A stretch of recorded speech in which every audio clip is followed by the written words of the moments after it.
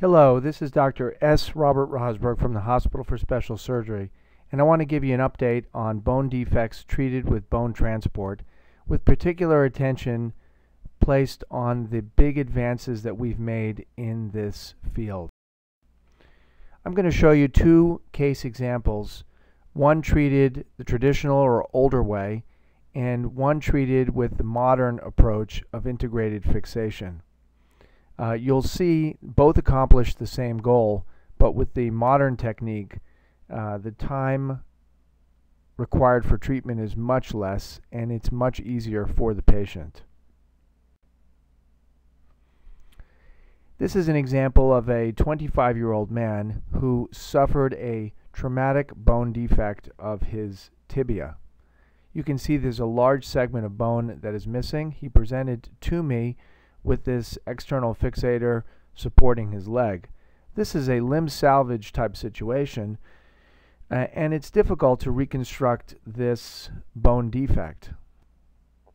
The technique that we used was bone transport using a two-level hexapod frame. And what we essentially are doing is transporting the bone, the middle segment, in a distal or downward direction towards the ankle.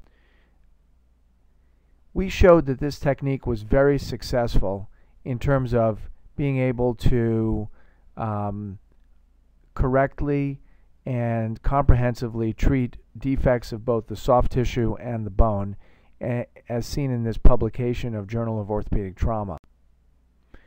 The case continues, and you can see that the transport fragment has moved in a distal direction. You can see the new bone that has grown in the proximal tibia. So this is an internal bone lengthening.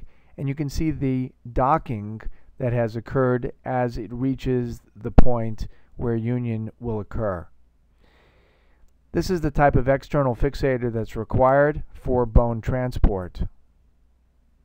This is a front view of the same thing. You can see the patient is able to walk and stand, especially as the bone is healing. He's well aligned and he has equal leg lengths. At this point, we're waiting for bone consolidation, and in total, that takes about a year. This is the final outcome, showing a well-healed tibia, front and side views, um, and a patient who is very functional. I'm very proud of this result, but it took a year uh, of time treating this, and it required being in the external fixator for about one year. We published our experience on repair of tibial nonunions and bone defects with the Taylor spatial frame or the hexapod frame, and I'm proud to say that overall we had final bone union of 95% of our patients. And we concluded that one can comprehensively approach tibial nonunions with the Taylor spatial frame. This next case illustrates the evolution and the new way that we're dealing with this problem at this time. This is a very challenging situation of a 29 year old male who presented to me with an infected tibial nonunion and a 17 centimeter bone defect. That's a large bone defect as you can see, presented with an open wound and with um, pus draining out of the leg. And the x-ray shows a very suspicious large area of bone that appears to be infected and dead. This is what it looks like at surgery where we approach the bone segment and ultimately it was necessary to excise the dead bone segment. The first stage of surgery involved placing an antibiotic-coated intramedullary nail to eradicate the infection. He was treated with culture-specific antibiotics for six weeks. And then once that was complete, we were able to do the reconstruction part, which involves bone transport over the intramedullary nail using a cable technique.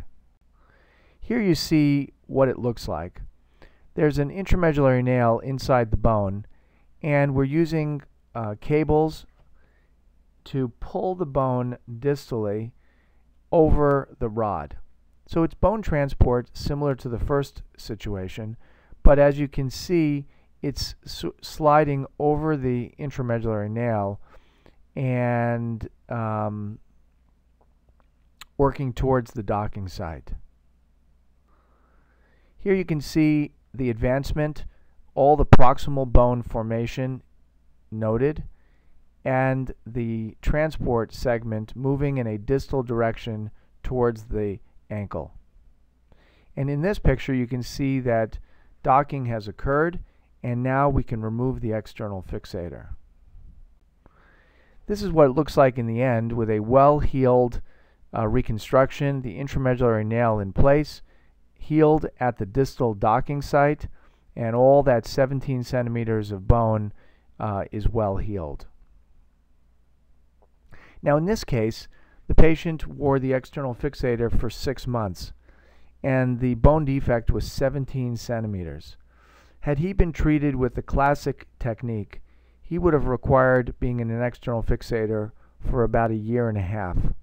So this was a tremendous advance in our ability to treat large bone defects and salvage legs with this type of complex situation.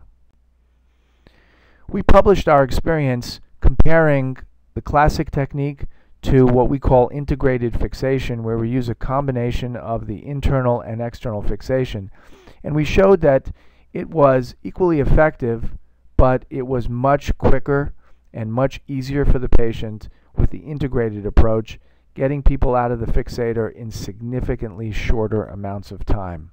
Furthermore, there also was a decreased uh, risk of refracture after the fixator was removed.